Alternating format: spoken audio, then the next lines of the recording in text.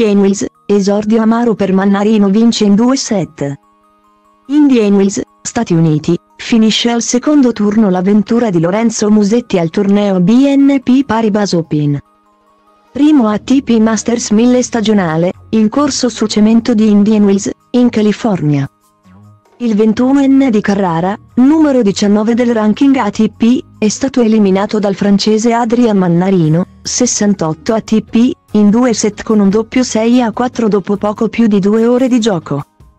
Il 34enne francese sfiderà al secondo turno un altro azzurro, Yannick Sinner, che aveva estromesso dal main draw il francese Gasquet. Virgola.